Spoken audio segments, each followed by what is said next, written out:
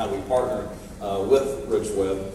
Uh, a lot of you may know us as AVG. So the AVG business by Avast, uh, there might be some questions there. Uh, Avast actually purchased AVG in October of last year. And so while we're still operating as two uh, individual business units, we're housed in the same places now. Um, and moving forward, there's always been maybe some branding changes, uh, but it's allowed us to integrate a lot of uh, the same or similar softwares. Uh, AVG and Avast are both headquartered out of the Czech Republic. Uh, the corporate offices have been across the street from each other for over 20 years. The, the executives know each other. They go to lunch together. They've been arguing about who should buy who, and finally last year they decided to go this way. And uh, so that's why you see you'll see the branding AVG Business by Avast. Now, what we do, uh, the core competency for AVG Business by Avast, what our goal is, is to provide secure, simplified, uh, and optimized IT solutions and experiences for all of our users. Uh, our goal is to protect not just networks and devices, uh, but the data and the people using those uh, devices. Because of the acquisition, uh, Avast now has endpoint security protection on over 400 million endpoints. That makes us the largest, most geo-diverse threat uh, detection network in the world. Uh, we see more and know more about what's happening on IT networks than any other company uh, in the security market.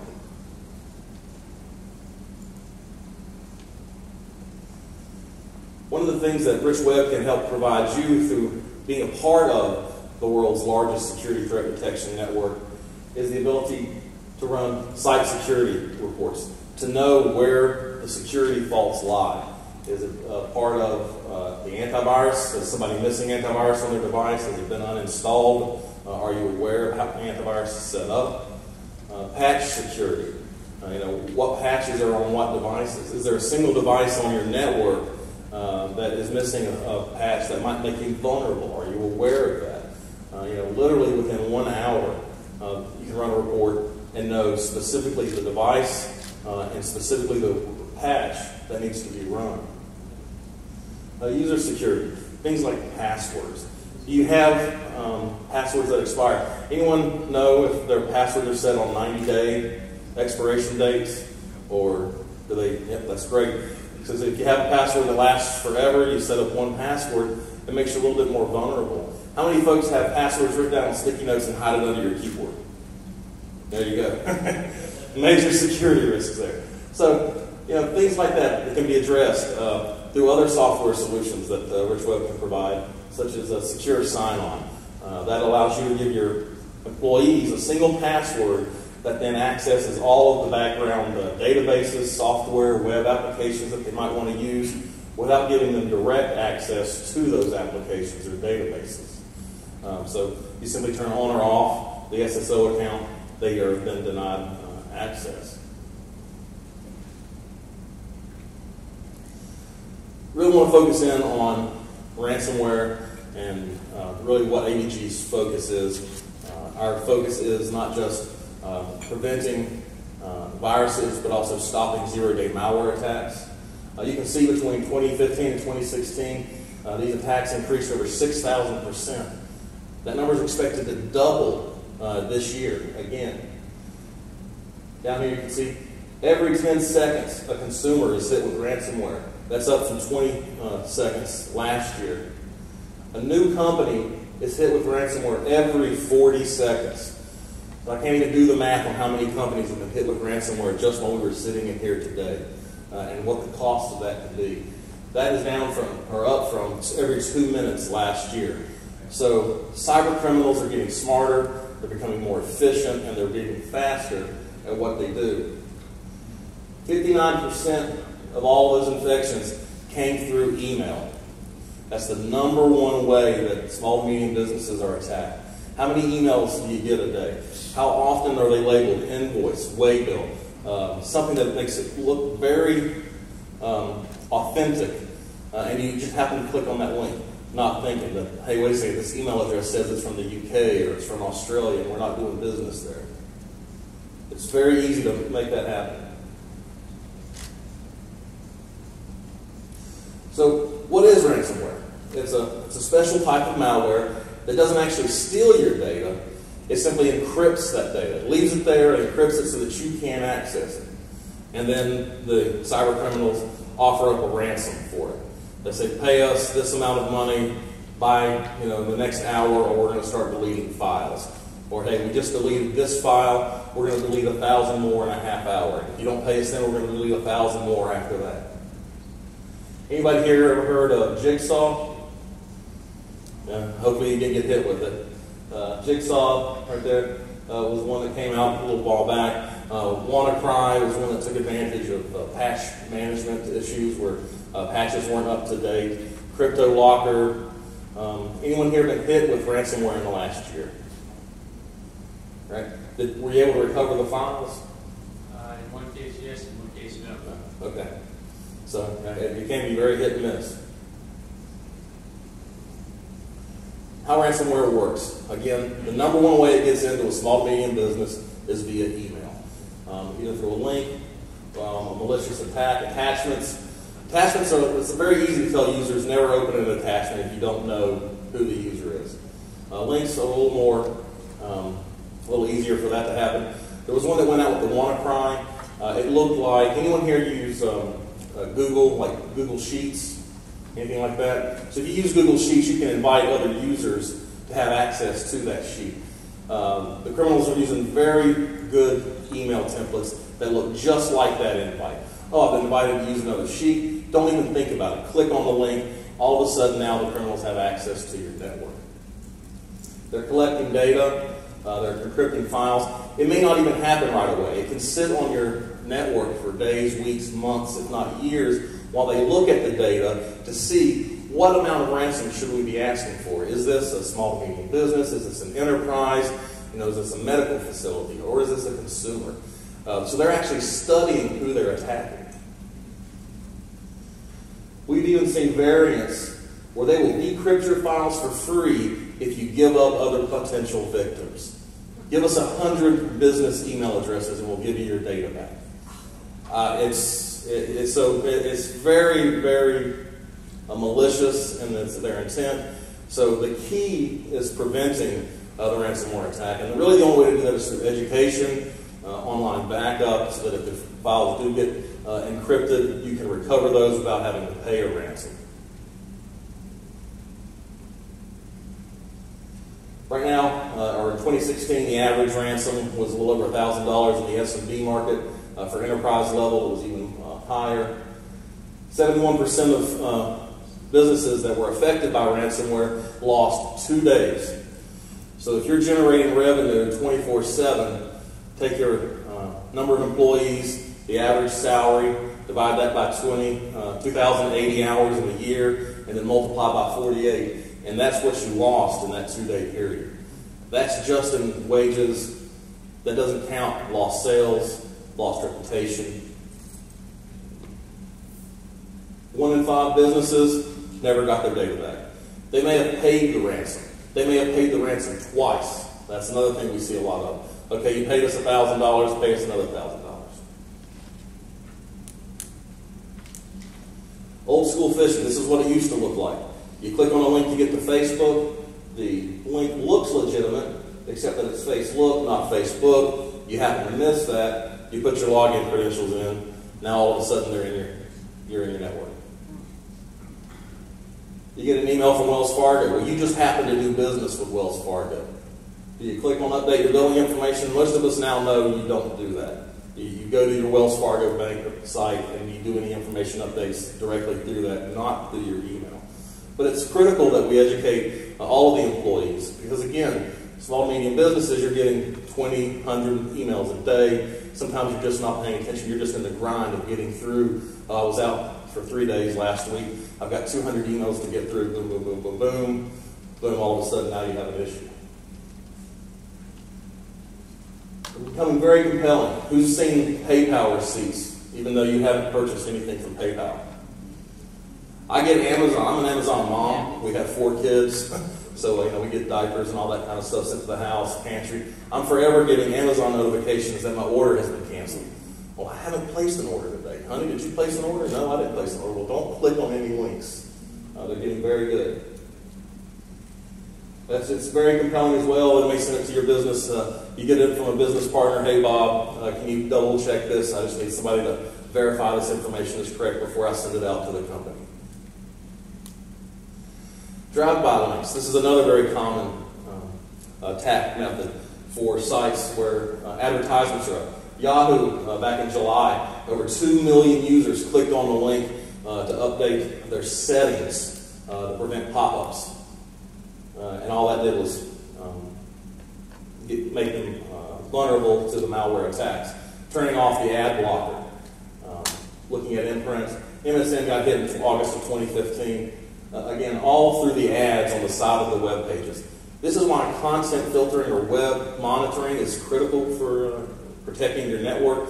Uh, we're not saying don't allow your employees to go out on the internet at all, but you're going to want to know where they are, where they've been, what types of sites they're going to. Um, Rich Web can provide you reports that show every website that has been visited. You can set up certain websites to be warned or to be blocked explicitly. The most secure way is to set up a whitelist. These 15 sites we need to do business on. These five sites are okay for personal browsing during you know, special hours, you know, lunchtime, that sort of thing. But outside of these sites, we don't want uh, employees going anywhere. So they can set that up for you. It's very easy to manage as well. Uh, they can even give you access to a port so that you can add or remove websites um, at will. Email's not the only conduit, though. A lot of people check their Hotmail, Gmail, Yahoo Mail at work. That's where a lot of these phishing scams are coming in. It's going out to the consumer, but it's happening in the SMB uh, marketplace because they're at work when they're checking. Uh, they're down. They're doing downloads. Adobe had a, a huge uh, problem. Not I guess it was last year where you were getting pop-up that your Adobe has expired. You need to update that file. Wasn't actually Adobe asking you to do that. It was a cyber company. USB drives. This is more of a malicious type of an attack. Anyone ever had an experience where you plugged in a USB? Yeah, where you, you, you don't. Hmm? It was very, very, very bad. Yeah. Somebody brings a USB in from work. They want to look at their wedding photos. They forgot that they had also downloaded something else onto that same drive, and with no intent, plugged it in and infected the network. Uh, shortened links, that's where uh, you know, it looks like a valid link. Uh, it actually takes you to uh, a malicious site, as well as uh, IAMs, chat, torrent, Dropboxes. If you're using Dropbox, I have a story to share with you. I did a short stint for about a year as a recruiter for a, a company, and I recruited mechanical engineers. I still, to this day, five years later, have access to my Dropbox account. I can go in and see all my clients, all the deals that I started, if they hired people, who they hired. I can look at everybody's opportunities they have coming in the next year. I called and told the owner that I still have access twice. I still have access. The bad guys, they only need one way in. They have dozens.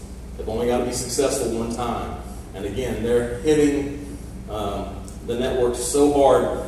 Consumers are being infected every 10 seconds, and again, small, medium businesses every 40 seconds. They're successful. Um, ransomware as a service. This is the new school.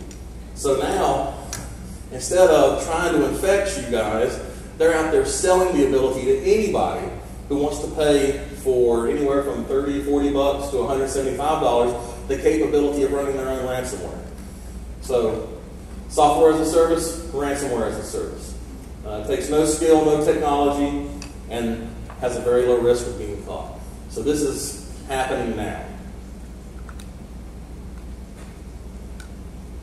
So here's how it works. Everybody has net data on your network that's valuable. Right, you know, we, we have customer information, uh, we have invoices, we have previous uh, uh, records documentation.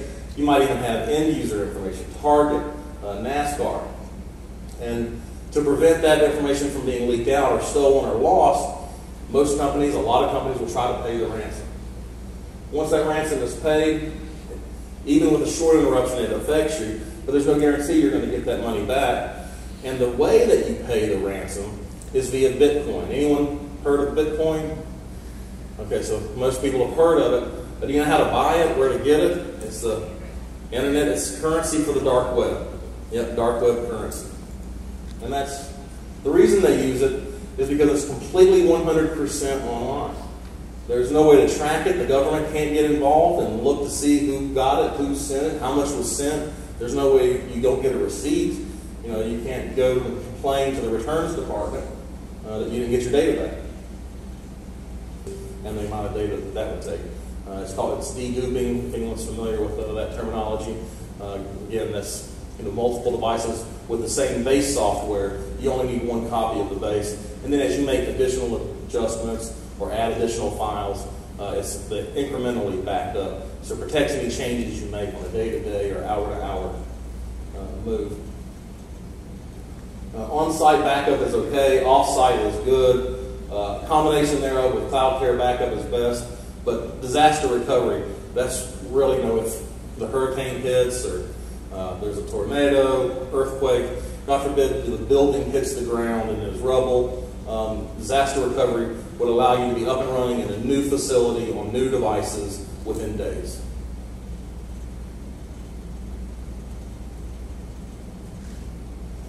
I believe I've already hit this pretty well. Awareness and education, what to look for and what to avoid, implementing those policies. Uh, you need to know if the antivirus on the computer is up to date.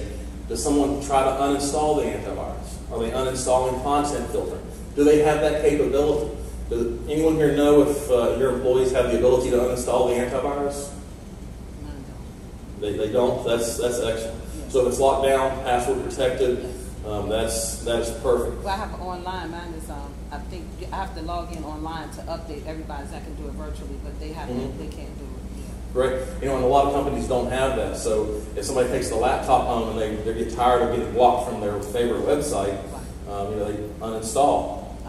You know, so uh, that can create some uh, Yeah, potential had, issues. Had that. Indeed.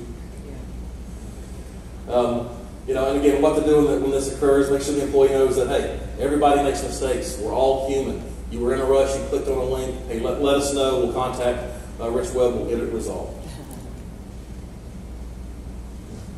Got all software's up to date. Uh, they can help you with that. Windows updates, Windows patch management, uh, all can be automated.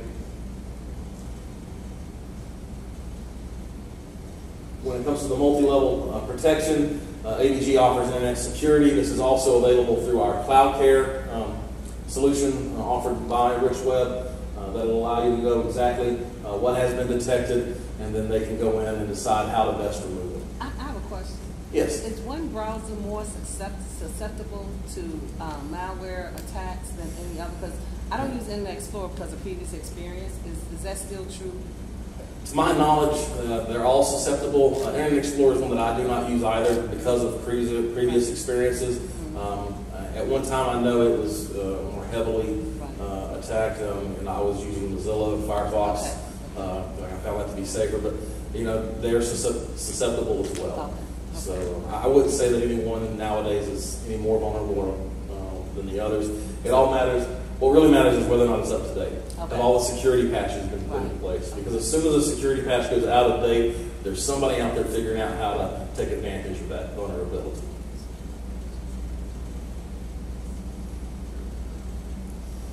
All right.